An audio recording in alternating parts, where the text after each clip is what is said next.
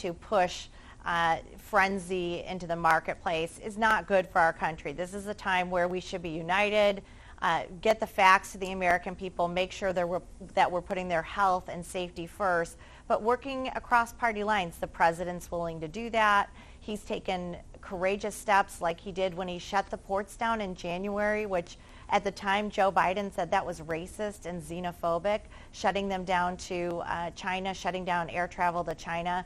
Uh, Dr. Fauci has said that absolutely limited the spread of this virus through this country. But the president is leading on this effort, and unfortunately, Democrats are using this as an opportunity to sow division and scare the American people. You know, one of the things I really like about the type of response and having met with and gotten more inside look at this from the administration point of view, the experts are involved, the, the, the state, in, uh, state labs, university labs, pharma labs, uh, the doctors, the scientists, the immunologists.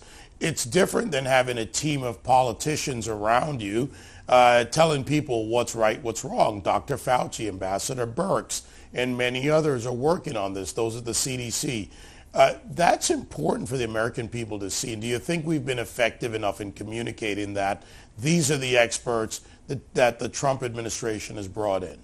Yeah, the, this, the president has been very clear the health of the American people comes before anything, before the stock market, before anything that's happening in this country. We need to put the health of the American people first. And I do think it's assuring to see someone like Dr. Fauci, who's worked with many administrations, including under President Obama, coming forward and saying this administration has taken the steps necessary, and let's communicate to the to the public the real concerns that they should have and the precautions they should take. You know, wash your hands if you're sick, stay home. The things that we should all be communicating, but not creating a panic.